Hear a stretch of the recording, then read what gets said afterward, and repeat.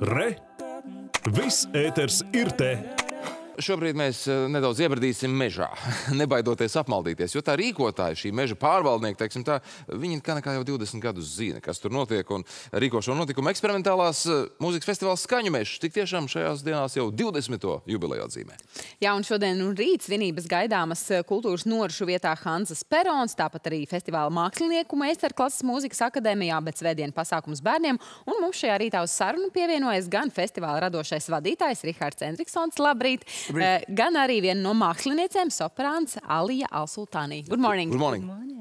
Rihard, sāksim ar jums atskatā uz festivālu 20 gadu vēsturi. Nu, tomēr laiks posms ir ilgs, cik mierīgs un līdzens, kā to var teikt, tas ir bijis, ja tas vispār eksperimentētājiem piestāv, ja varbūt atskil bargains tas posms ir bijis. Grūti pateikt. Es teiktu, ka primārais veids, kā mēs svinam šos svētkus, Un, starp citu, es atvainojos, mazliet ciet balss. Un... Sezona. Esmu veicis veselu preses stūri, svinot 20 gadu jubileju. Um, mums kā rīkotājiem šķiet, ka pareizākais veids, kā svinēt šādu pasākumu, kas primāri pārdod, ja tā var teikt, pārdod ļoti grūti pārdodamu mūziku, ir gluži vienkārši svinēt vēl vienu tā izlaidumu. Un savā ziņā novērtēt, ka tik, teiksim tā, nekomerciāls pasākums vēl joprojām eksistē grūti pārdodama mūzika, tiešām nepieradinātas, vai kā mēs bieži vien dzirdam, alternatīvas lietas, yeah. tas formulējums. Tas tiešām nav šis uh, nu, pamatplūsma vai pamat uh, cilvēka interesi piedāvājums. Kas tomēr ir tas, ar ko tas ir interesants publikai? Cik tā publika ir specifiska, cik plaša, kā to var vērtēt Latvijā? Es domāju, ka mēs komunicējam kā ar mazāku nišu speciālistiem. Tā arī ir plašāka publika. Un man nereti nāks dzirdēt, teiksim, no žurnālistiem vai paziņām, ka viņi pazīst cilvēkus, kas vispār šādu mūziku neklausās. Taču līdzīgi kā periodiski apmeklēt klasiskās mūzikas pasākumus, šie cilvēki tiecas gluži kā ievilkt ķeksīt reizes gadā apmeklēt skaņu mežu. Gluži vienkārši, lai, kā lai pasaka, varētu pateikt, ka ir sakojuši līdzi tam, kā mūzika mainās. Mhm. Ja runājam jā, par šo laika nogriezni, un tagad arī 20 gadus festivāls, kāds tad būs tas mūziķu klāsts? Droši vien tur pārsteigumu netrūks. Nu, Mazliet ieskicējiet, jā, varbūt vienkārši to. Koncertu būs diezgan daudz. Man ir prieks teikt, ka mūsu 20 gadu jubilejā būs koncerti, kuros mūziķi dara lietas, kuras viņi nekad nedarītu citos festivālos. Piemēram, diezgan agresīva tehno producents no Lielbritānijas Perk Eh, festivālam būs radījis īpašu eksperimentālu programmu. Jo gluži vienkārši nejūtas komfortabli spēlēt klubu mūziku līdzās operas dziedātājiem un komponistiem. Līdzīgi arī, manuprāt, ievērojamais austriešu, šobrīd Vācijā dzīvojošais avangarda mūzikas komponists Pēters Ablingers pirmo reizi festivālā improvizēs. Tāpat, ja runā arī par teiksim, plašākai publikai, iespējams saprotamākiem un pieejamākiem koncertiem, tad uh, hip-hop grupa Clipping noteikti būs šāds koncerts. Tajā ietilpst arī Grammy balvas laureāts Davīds Diks, kas ir populārs ar savu dalību Amerikā ļoti populārajā mūziklā Hamiltons. Mm. Kā arī, protams, jau pirmajā koncerta vakarā uzstāsies man līdzi man atnākusī blakus sēdošā brītu irākiešu dziedātāja Alija Al-Sultānija.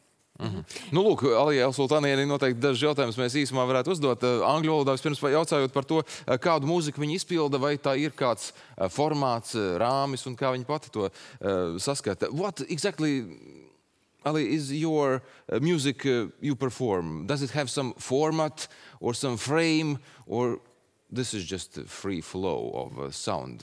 How it can be characterized? Very interesting. So I'm here performing with uh, my colleague Miriam Razai on turntables.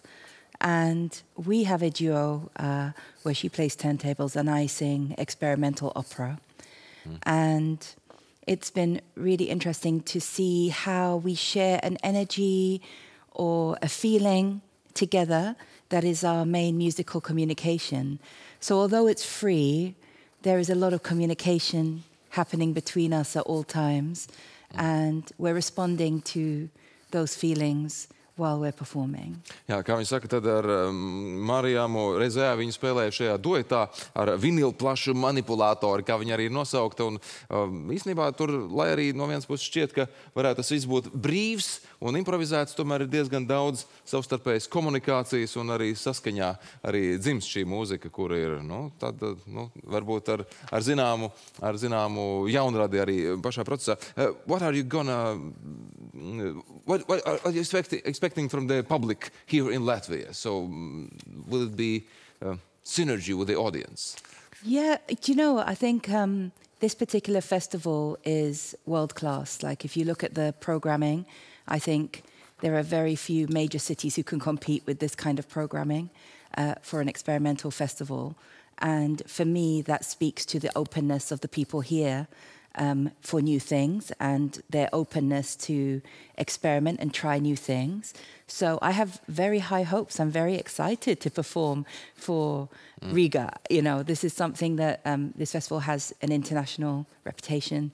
Um, when they contacted us, we were thrilled. We were really happy, um, and I think uh, I think it tells a lot uh, about the quality of the audience that they have to program this quality of festival. You know? Jā, Gusts jautāja tātad par to, kādas ir viņas expectācijas no šī festivāla. Viņa saka, ka pilnīgi noteikti var teikt, ka šis ir pasaules līmeņa festivāls un tikai dažas valstis varētu ar, ar šo sacensties. Un, uh, un šī programma un tas viss pasaka ļoti daudz par to uh, mūsu latviešu cilvēku spēju mm, atvērties jaunām lietām. Un līdz ar to viņa saka, jā, man ir visai augstas gaidas arī no publikas, jo, jo, jo šis viss uh, liecina ļoti labu par, par mūsu gaumi attiecībā uz šādu uh, mūziku un, un jā, vienmēr Jā, sakot. kvalitātes standartu, zinām, Jā. Īsu mazu tādu demo noteikti arī mēs varētu lūgt šobrīd.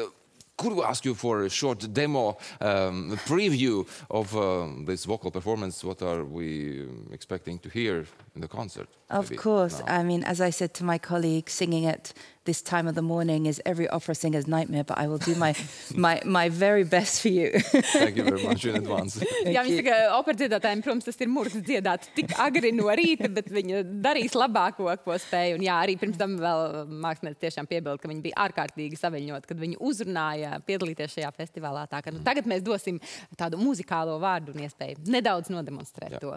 Jā, welcome. Thank you. I'll be um, performing a, a poem by a Iraqi feminist poet, Nazik al-Malaika, um, and I will improvise using her words. Mhm, Tātad irākiešu feministas dzēnieces um, dzējoļa izpildījums mūzikā vai viņas vārdos ietērts.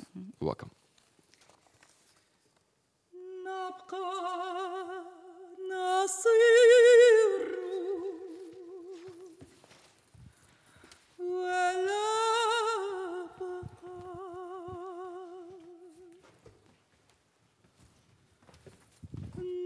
Oh.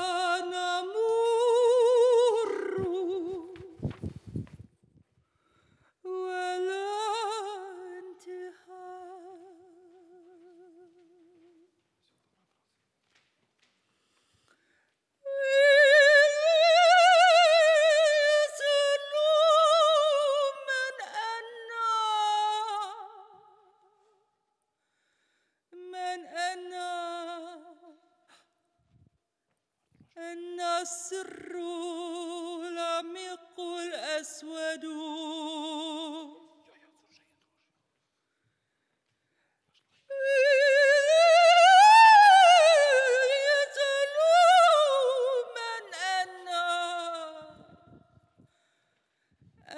السر